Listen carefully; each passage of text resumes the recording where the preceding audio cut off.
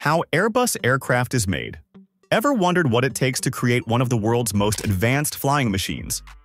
Imagine standing before a massive Airbus aircraft, knowing every rivet and wire was meticulously crafted. But what you see is just the beginning. In today's video, we're diving deep into the hidden world of Airbus manufacturing, uncovering secrets few ever see. Welcome! Today, we're taking you on an exclusive journey inside the Airbus factory. From intricate blueprints to cutting-edge materials and assembly lines, we'll explore how these sky-dominating machines come to life. Stay tuned for astonishing details you won't want to miss. Ready? Let's get started. The journey starts with designing the aircraft. But this isn't just sketching on paper, it's all about high-tech precision. Airbus uses sophisticated computer-aided design, CAD, software to create detailed 3D models of every component of the aircraft. Imagine creating a digital replica of the plane before it even exists. Every curve, every panel, every piece of machinery is planned out in the virtual world. These 3D models are more than just digital renderings. They serve as the blueprint for the entire manufacturing process. The models are so detailed that they can be used to generate exact blueprints for cutting, shaping, and assembling each part of the aircraft. This step is crucial because any mistake here can lead to complications later in the process. Once the design is finalized, the CAD models are translated into blueprints. These blueprints are not like the old-school versions you might have seen in a movie. They're high-tech documents that specify every cut and shape needed for each piece of metal and component. Think of them as the ultimate guidebook that will direct each step of the manufacturing process. With blueprints in hand, it's time to prepare the materials massive sheets of aluminum and titanium arrive at the factory. These materials are crucial because they form the core structure of the aircraft. Aluminum is lightweight yet strong, making it perfect for the majority of the aircraft's structure, while titanium is used for parts that need extra strength and heat resistance, like engine mounts and landing gear. Now comes the fun part, cutting and shaping the metal. At this stage, precision is key. Large sheets of aluminum and titanium are fed into high-tech CNC, computer numerical control machines. These machines are like super smart robots that follow the blueprints with millimeter-perfect accuracy. They cut, shape, and drill the metal according to the detailed specifications. The process is incredibly precise because any deviation could impact how well the parts fit together later on. Before we get to shaping, let's talk about how the raw metal materials are prepared. The process starts with melting down the aluminum and titanium in massive furnaces. The metal is heated to extremely high temperatures until it becomes a liquid. Once melted, the metal is poured into molds to create ingots or slabs that will be used in later stages. These molds shape the metal into manageable forms that can be further processed. The melted aluminum is typically cast into large rectangular slabs or ingots, which are then cooled and solidified. For titanium, a more specialized process is used due to its higher melting point and unique properties. The titanium is often melted in a vacuum or inert gas atmosphere to prevent contamination and then cast into ingots. These ingots are later rolled out into thin sheets or shaped into bars and rods, depending on what parts they will be used for. Aluminum is the backbone of most aircraft structures. The huge sheets or rolls of aluminum are first stamped into various shapes using massive stamping machines. This step transforms the flat sheets into parts like fuselage panels and wing sections. After stamping, the aluminum parts go through CNC machines again to get the precise cuts and holes needed for assembly. The result? Perfectly shaped components ready to be assembled into the aircraft.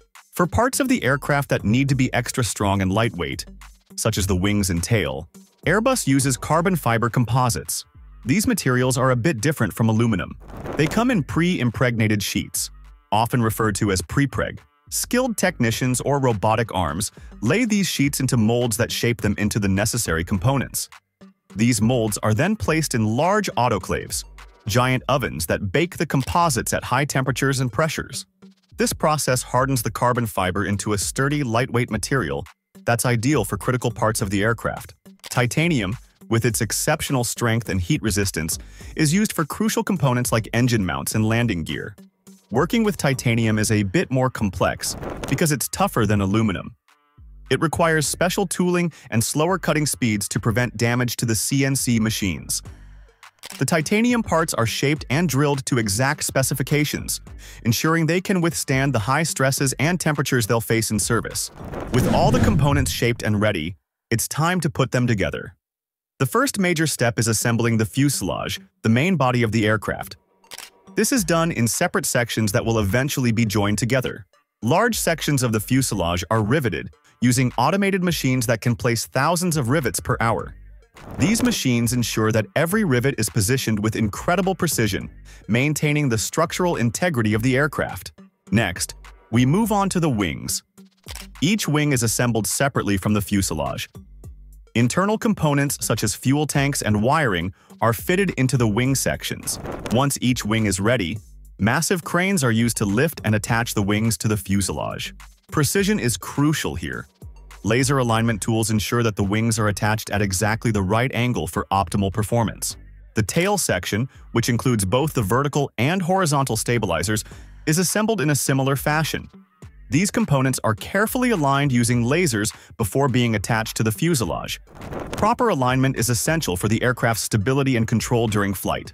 With the main structure in place, the next step is installing the avionics, the systems that control everything from navigation to communication. Miles of wiring are routed through the aircraft, connecting all the avionics components. This wiring is installed using prefabricated wiring harnesses. These bundles of wires are prepared off-site and then brought to the factory. Special conduits and clips are used to keep everything organized and secure. Once the wiring is in place, the avionics systems are installed. These include flight control systems, navigation equipment, communication radios, and in-flight entertainment systems. Each system is carefully tested as it's installed to ensure everything is functioning correctly. This is a critical step because these systems are essential for the safe and efficient operation of the aircraft. After the aircraft is fully assembled, it undergoes a rigorous quality control process. This includes non-destructive testing methods, such as ultrasonic and X-ray inspections. Ultrasonic testing uses sound waves to detect internal flaws in the materials, while X-rays can reveal issues that aren't visible to the naked eye. These tests are vital for ensuring the aircraft is free from defects that could affect its performance or safety. Once the non-destructive tests are complete and the aircraft passes, it moves on to functional testing. Every system on the aircraft is powered up and tested to make sure it works as intended. This includes everything from the flight controls to the lighting systems. If any issues are discovered during these tests, they are addressed and corrected before the aircraft proceeds to the final stages. With the major systems installed and tested, the aircraft is ready for its final touches. The interior is installed at this stage, including seats, overhead bins, galleys, and lavatories. Each component is carefully fitted by hand to ensure a high-quality finish. The interior is also tested to ensure everything is secure and functional. Next, the aircraft is painted with the customer's livery. This is done in a specialized paint shop where the aircraft is masked off to protect the areas that won't be painted. High-pressure spray guns are used to apply the paint, which is then baked on to ensure it adheres properly and can withstand the harsh conditions of flight. The paint job not only gives the aircraft its distinctive look, but also provides a layer of protection. The final step in the process is a comprehensive inspection and a test flight. Test pilots put the aircraft through its paces to make sure everything is working perfectly. This final round of checks ensures that the aircraft meets all safety and performance standards.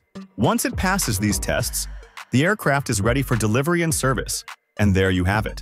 From the initial design to the final delivery, every step in building an Airbus aircraft is a testament to incredible engineering and precision.